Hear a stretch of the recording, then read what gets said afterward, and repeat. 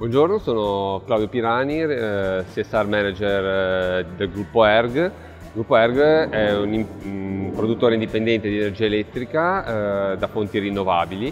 energia eolica, energia idroelettrica e solare e abbiamo anche un impianto power in Sicilia. Eh, la nostra diffusione territoriale è in Italia, e in Francia, Germania e in altri paesi europei con prospettive di sviluppo prevalentemente in Inghilterra, Francia e Germania. Parlando della dichiarazione non finanziaria che ha eh, portato a mh, mm, valore eh, assoluto per, le, per, i grandi gruppi quello che una, una volta era una rendicontazione di carattere volontario rappresentata dal rapporto di sostenibilità, eh, diciamo che il gruppo ERG ha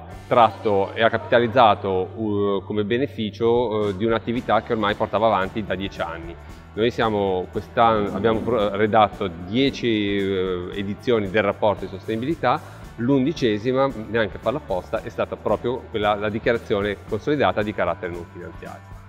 Riteniamo molto importante questo riconoscimento a, a titolo eh, legislativo perché vuol dire che effettivamente quelle informazioni che noi già ripeto, volontariamente, precedentemente davamo ai nostri stakeholder sono effettivamente delle informazioni rilevanti per i nostri interlocutori e conseguentemente è opportuno che eh, gruppi così importanti quali sono eh, quale ERG e tutti i nostri eh,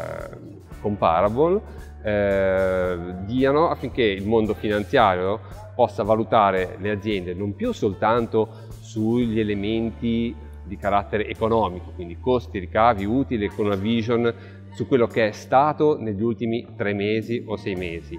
ma eh, con una visione prospettica e quindi vedere qual è la capacità di essere resilienti e di creare valore nel futuro di, di queste aziende.